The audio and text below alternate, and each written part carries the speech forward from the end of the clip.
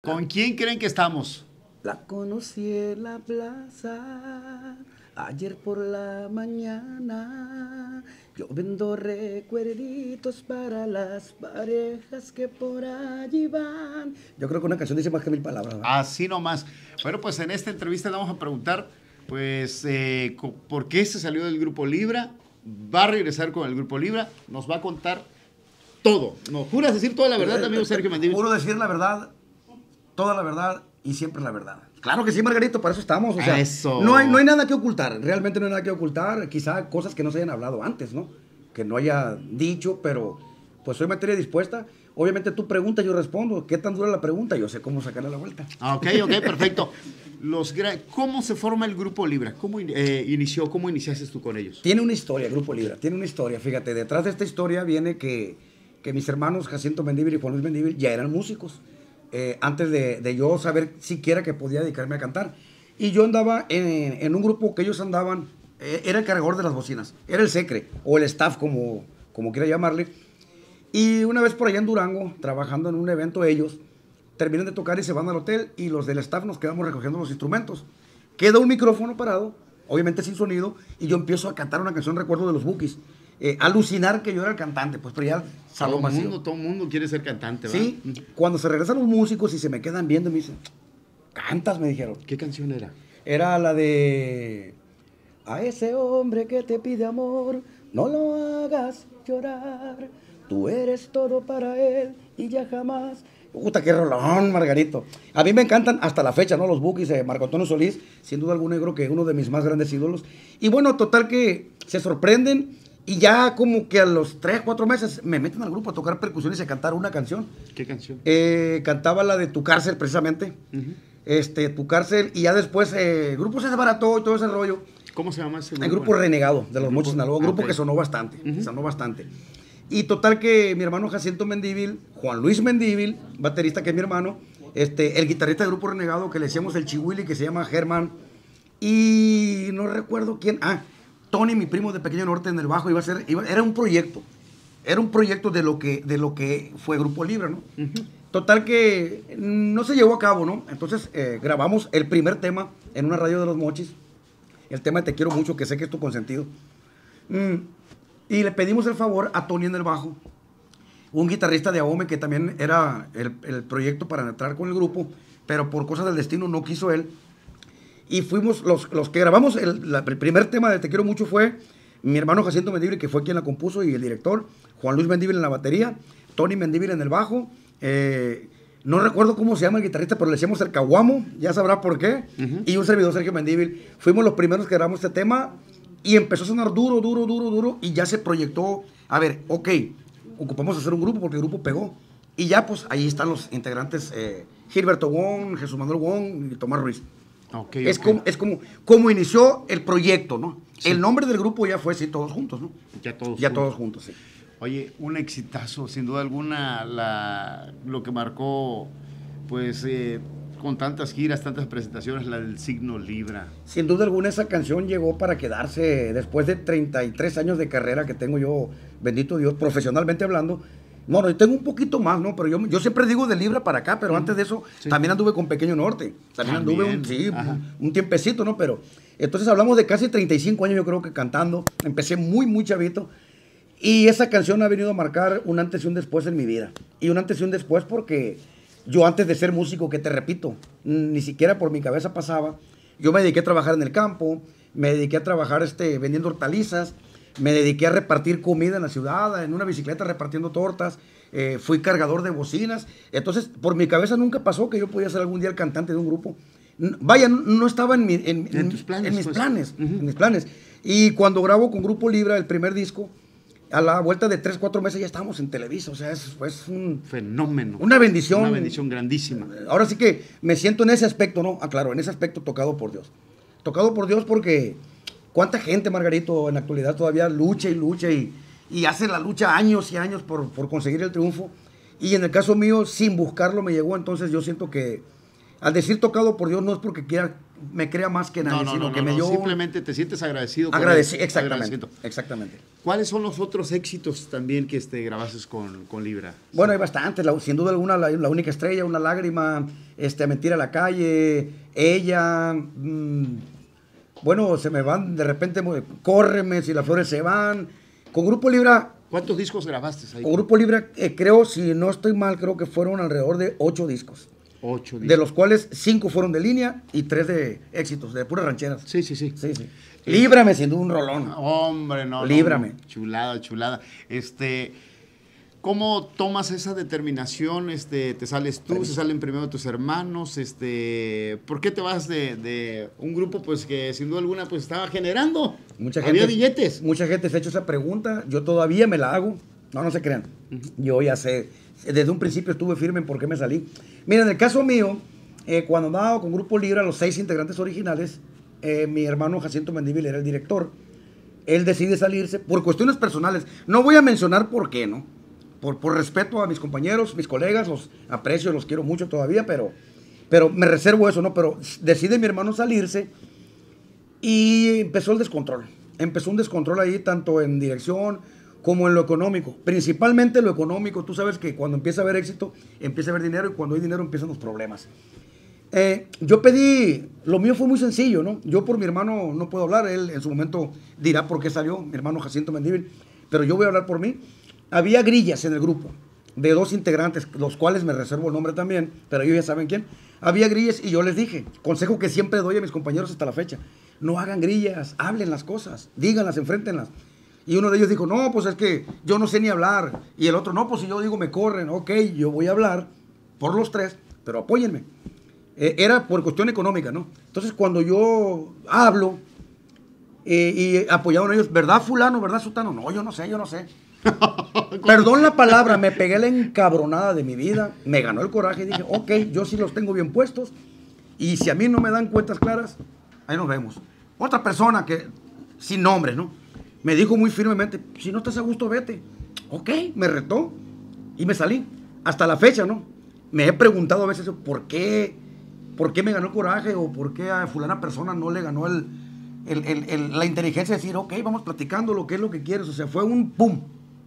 Y hasta la fecha. No me arrepiento. Yo sé que dejé Eso, Grupo Libre. eso te iba a preguntar, que si te arrepientes de haberte salido del Grupo Libre. Por supuesto que no. Yo sé que lo dejé en el, en, en el momento más alto del Grupo Libra.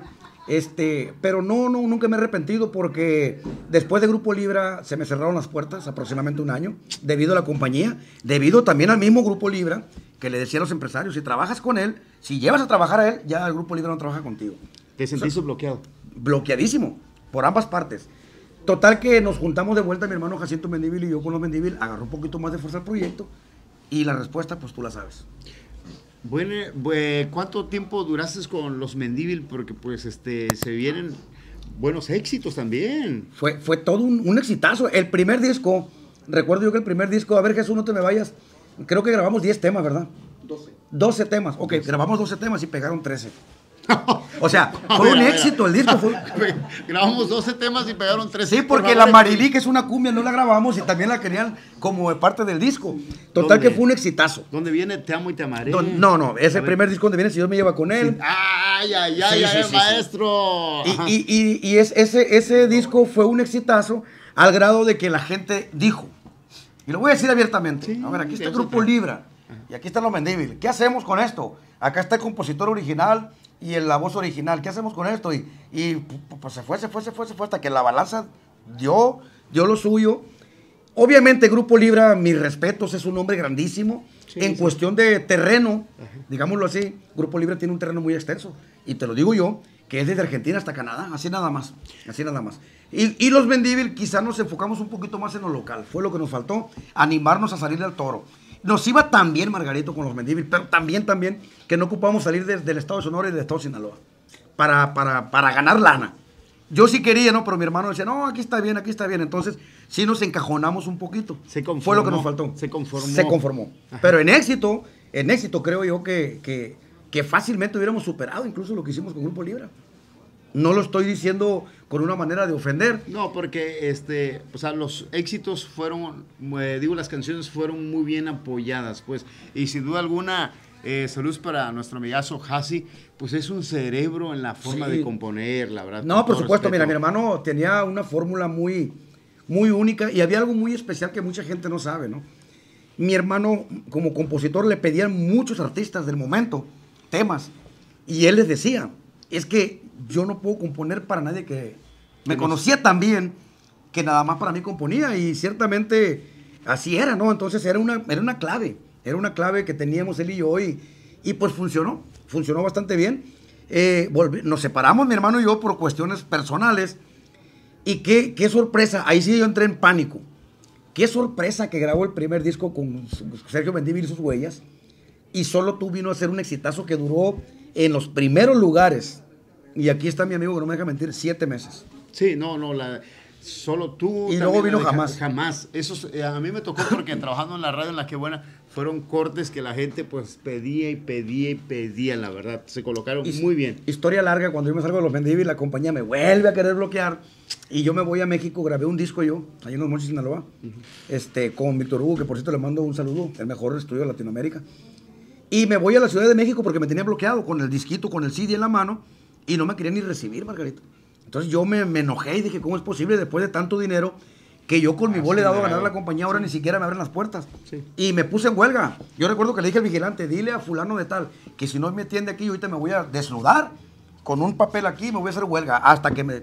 Y bueno, sí me abrieron, me recibieron, escucharon el disco, inmediatamente cambió todo. Oye, que, que la canción, que guau, guau, guau, guau, guau. Ah, ok, ahora va la mía. ¿Les gustó el disco? Sí, ok. Ahora yo quiero un nuevo contrato por menos años, quiero que me paguen la grabación, papá. Ya se, se, volteó, se volteó la tortilla, vaya. Y me fue muy bien y hasta la fecha. Yo creo que aquí, aquí soy, hasta que Dios me llame a cuentas. Perfecto, pues qué bonita plática. Tú soñabas eh, con ser cantante desde chiquillo. te- Este, cuéntanos, ¿qué soñaba también este Sergio Mendívil? Mi no? sueño, mi sueño, como todo hombre de pueblo, de rancho, Sí. era tener mis caballos y mis vacas, tener un ranchito. O sea, mi sueño máximo era eso, precisamente, ¿no? De hecho, fíjate, no lo he cumplido, ¿eh? Ahora que puedo, este, no lo he cumplido, porque bueno, el trabajo no me ha dejado, pero yo creo que en mi retiro, eso va a ser lo que, lo que tendré que ser un ranchito, allá en el ejido Macapul, de donde soy originario, tener mi cabañita, tener mis vaquitas y mis animalitos. Ese era mi sueño. Te repito, ser cantante nunca pasó por mi cabeza. Yo creo que fue mera casualidad. Pues bendito Dios, como dices tú, eres una persona bendecida por Dios, este, por tantas cosas bonitas, vives de la música, alegras corazones, este, le das este ánimo, alegría a tantísima gente con tu voz. Muchísima gente, fíjate, la generación que me tocó a mí en los noventas, que todavía, bendito Dios, siguen acudiendo a nuestros bailes, ha heredado el gusto por esta música a sus hijos, quizás sus nietos, ¿por qué no? Eh, de hecho, fíjate, me pasó, hablando de eso, ¿no? Hay mucha juventud que va a los bailes y obviamente conocen del signo Libra, la única estrella, conocen Temo y Temareno. Entonces, una vez fue un muchacho a un baile y, y estaba anonadado conmigo. Entonces, cuando eh, gritaba cosas, no sé qué, y le puse atención. ¿Qué es lo que pensé que pedía una canción? ¿Qué dices? Que imita muy bien al de Grupo Libra, me dijo. ok, dije gracias. O sea, obviamente él no es de esa generación. Sí, claro, Él no claro. sabe que quien grabó todos los éxitos fui yo, pero, pero bueno, o sea, fue, finalmente fue un halago, ¿no? Sí, fue un halago de parte de él porque estaba tan entusiasmado diciendo, es que tú eres igualito al que grabó las canciones del signo Libra. Tú eres igualito al que grabó la única estrella. Te- Pues quizás será porque soy yo, le dije yo. O sea, Eso. a lo mejor en su cabeza no, no, no. No sabía que eras tú, No pues. sabía que era yo. pues. Ajá. Pues muchísimas gracias, amigo Sergio, por compartir esta bonita eh, plática con toda la gente que nos mira ya en Guatemala, Honduras, en El Salvador, todo México. en todo- Colombia, Colombia, Besote para Colombia, Chile, Argentina, Uruguay, Paraguay, que tenemos muchísima gente de por allá, que muy pronto, ¿eh? Mira, debido a la pandemia no visitamos esos lugares, Centro y Sudamérica. Ya estaba el plan. Incluso, incluso, lo voy a presumir, aunque ya no pasó, ¿no? En su momento lo iba a decir y me decía, dilo. No, porque primero hay que tener firmes las cosas. Y desgraciadamente, se vino la pandemia, teníamos incluso un festival latino en Madrid, España. Éramos invitados de acá de México, un servidor Sergio Mendívil y Grupo Las Huellas, a cantar en un festival latino en España, en Madrid. Y teníamos una gira promocional, ¿no? Por Uruguay, este, Paraguay, Chile, Bolivia, Argentina, o sea, todo, todo Centro y Sudamérica. Y bueno, lo vamos a retomar, primero Dios, en cuanto se aplaque bien esto. Bueno, pues muchas gracias, amigazo, por esta bonita plática. Margarito, a toda la gente le, le encargo mucho a este hombre, la verdad es una persona que me ha demostrado en este momento exactamente la humildad que lo caracteriza. Él ya es un grande, él ya es un grande porque hace 3, 4 años este, hablamos de una entrevista. Después de 3, 4 años aquí estamos juntos y la verdad te agradezco y te pido una disculpa pública por no haber atendido en aquellos momentos. Pero eso habla muy bien de ti, Margarito, que ahorita ya eres una persona muy reconocida y que me hayas aceptado estar aquí contigo. Le mando un saludo a todo tu público, la verdad, este, le encargo que sigan también nuestras redes y que a este hombre no me lo dejen abajo, por favor. Es una persona que merece mil.